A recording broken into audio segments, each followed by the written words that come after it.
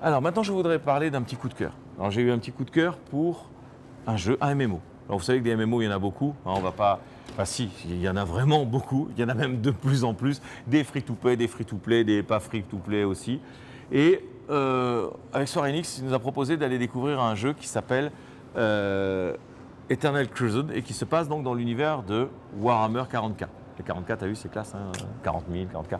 Alors, tu, tu peux nous parler un petit peu de la, de la licence, parce que toi, tu connais un petit peu mieux l'univers. Bah, en fait, à la base, c'est donc c'est un jeu de plateau avec des petites figurines que tu achètes, que tu montes, Mhm. que tu peins pour créer ton armée petit à petit. C'est créé par Game Workshop. Donc à la base, c'était juste un petit jeu de plateau, puis c'est devenu euh, une licence euh, énorme. Donc il y a des bouquins, il y a, y a déjà, y a déjà eu des adaptations en jeux vidéo. Il y a tout un univers énorme avec beaucoup, beaucoup d'histoires, beaucoup de, de scénarios, beaucoup de, de, de- de races différentes. Et en fait, à la base, c'est un marché niche, mais il y a quand même une communauté qui est derrière, qui, qui pousse le truc à fond. Et, Bah, et on en parle, tiens, un marché de niche quand même. Par exemple, pour le dernier jeu sur PS3, Xbox 360 qui était euh, Space Marine, ouais.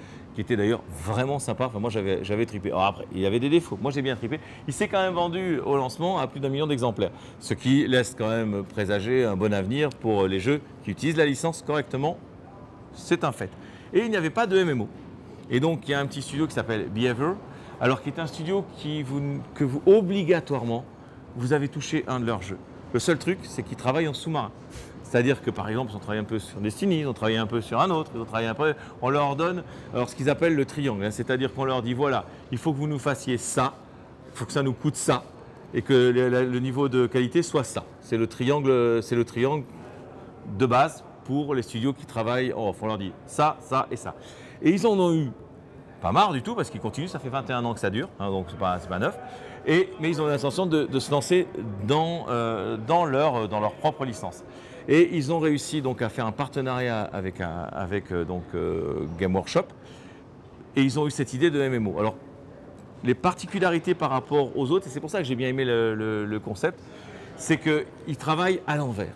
D'habitude, quand c'est un jeu sous licence, voire même pas sous licence, vous connaissez le principe, on ne va pas y revenir. D'ailleurs, si on y reviendra, mais plus tard, les NDA, on, vous montre à la presse, et on te montre un peu Sifi, et toi, tu as droit à une exclue, mais surtout, faut pas en dire, attention, tu n'as pas le droit de dire ça, attention, on ne vous montre pas, on vous montre ceci. Ça, c'est le- notre lot quotidien. C'est même, euh, ça devient usant, mais c'est notre lot quotidien, et ça, ça fait partie, là aussi, du jeu. Eux, ils font l'inverse, c'est-à-dire qu'ils ont décidé, et c'est parti d'un des, des- gars du studio qui a d'abord réussi à convaincre son patron qu'il fallait s'ouvrir vers les fans avant. Et ils ont réussi à convaincre, et ça c'est très fort parce que ai posé la question. Vous verrez l'interview, d'ailleurs on en fera un podcast parce que ça dure à peu près trois quarts d'heure et c'est super intéressant ce qu'ils nous racontent. Mais je vais quand même vous en faire un petit résumé. En gros, ils ont réussi à convaincre Collector Workshop de faire pareil. D'accord? Et du coup, ça donne que depuis un an que le jeu a été annoncé, bah, les fans en profitent. Ils ont même eu des, des- droits à des, des phases de trucs où il n'y a que des cubes, il n'y a pas de texture, il n'y a rien. On leur dit est-ce que ça, ça vous plairait? Et ça communique, ça communique. Et le jeu est en train de se créer comme ceci. Et le petit point, et c'est pour ça que je vous en parle maintenant, c'est qu'ils vont, vous savez, pour partir de je ne sais plus quelle planète jusqu'à l'endroit où l'aventure va se passer, il faut 18 mois de vol spatial.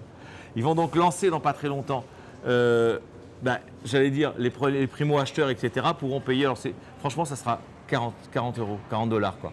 Et pour 40 dollars, en plus, ils te mettront 40 dollars de, de- de trucs que tu pourras acheter pour personnaliser. Ils veulent vraiment, vraiment que ça soit le plus open et le plus gratuit possible. Ils sont transparents. Mais donc, ils vont lancer ce petit, euh, ce petit billet pour l'espace. Tu vas rentrer dans le vaisseau, virtuellement bien sûr, tu pourras te connecter. Et tu- il y aura un voyage qui va durer 18 mois. C'est énorme. Ouais, c'est énorme, c'est énorme. Et sur cette idée, et pendant ce voyage, il va se passer plein de trucs. Par exemple, tu vas avoir un module d'entraînement, un petit peu comme dans un vaisseau. Bah, tu vas t'entraîner au combat.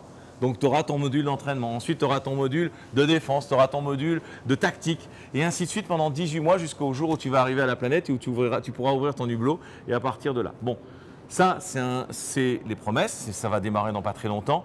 Ils sont très ouverts à la communauté, c'est vraiment un, un beau. C'est pour ça que j'ai un petit coup de cœur, c'est les mettre en avant parmi tous ces MMO, Oui. qui est l'univers quand même. Oh. Oui, l'univers il est bien. L'univers. Et ça sort sur quoi à part, à part PC Euh, pour l'instant, on va dire PC. J'ai pas de, j'ai pas d'infos là-dessus. Ça viendra. Je, ce qui est important, c'est, euh, c'est le concept. De toute façon, il parle de Steam, donc on est sur PC.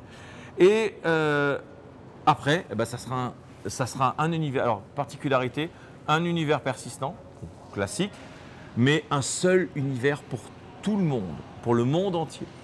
La technologie qu'ils utilisent a été récompensée l'année dernière par, par sa qualité, parce qu'ils ont réussi à connecter, euh, je crois, je sais plus, plus de 1000 joueurs, enfin, milliers de, jou- enfin, je sais plus, je dirais une bêtise, mais ils ont réussi, ils sont dans le Guinness du Book du record pour avoir le plus de nombre de connectés à à un près, ils avaient un chiffre rond parce qu'il y a un mec n'est pas venu. Et tu vois, c'est énorme quoi. Et donc voilà, cette licence va arriver. Vous pourrez, il y aura des combats pas possibles. Il y aura la possibilité de gérer des races. Il y, aura, il y en a quatre à la base, si ma mémoire est bonne. Euh, il y aura donc des combats monstrueux. Tu- ça fonctionne, et ça c'est génial, par le système de caste. Donc tu vas créer avec trois copains une petite cage. Tu peux aller jusqu'à 10 personnes. Puis tu as un truc au-dessus qui pourra gérer euh, les, tu pourras gérer 10, 10, euh, 10 petites castes, etc. Plus le machin, plus un président. Ça sera élu pareil. Alors les humains, ça va être des élections. Euh, les autres, là, les bestes, les orques, bah, ça sera qui est le plus gros et le plus fort sera le plus chef. Et tout ça, ça pourra se gérer. Alors, non pas comme Eve Online, par exemple, tu sais, ça gérer un petit peu off. Là, ça pourra se gérer en interne. Et bien sûr, après les réseaux sociaux, il faudra se donner rendez-vous, etc. Bref, ils ont l'intention d'être le plus, transparent, le plus fun. Et puis bon, tu auras des combats. Et le combat, ça sera du TPS, ça sera du, TPS, avec des combats dynamiques, etc. Donc, ça va être des bastons de monstres. Donc voilà, on avait envie de le mettre en avant. Il y a d'autres, il y a plein d'autres choses dont j'ai envie de raconter. Le problème, c'est que euh, vous aurez le podcast pour ça et écoutez-le parce que ça donne vraiment envie. Euh, que vous dire de plus? Pour l'instant, on n'en voit pas plus. C'est un work in progress. Ils vont balancer, d'ailleurs, vous pouvez aller voir sur leur site. hein, ils balancent, euh, dans pas très longtemps, ils vont nous donner les vidéos qu'on a montrées aujourd'hui. Ça, c'est un truc de fou. Tu vois une vidéo, ça, des fois, tu, voilà, mais là, c'est un work in progress. Ils le balanceront quand même. Ils nous donneront, vous pourrez le voir. Essayez, ça change un petit peu, le discours est le même. Euh, le patron, quand même, c'est un ancien d'IA. hein. je veux dire, le mec, il a de la bouteille. C'est lui qui a réussi à se faire convaincre. Je veux dire, il y a du lourd, c'est très sympa. Je suis pas un fan de la licence, mais l'idée même de ça m'a beaucoup plu. Bon, après, après c'est du MMO, mais bon. Et, et si vous êtes prêt pour un voyage de 18 mois, euh, Allez-y. foncez.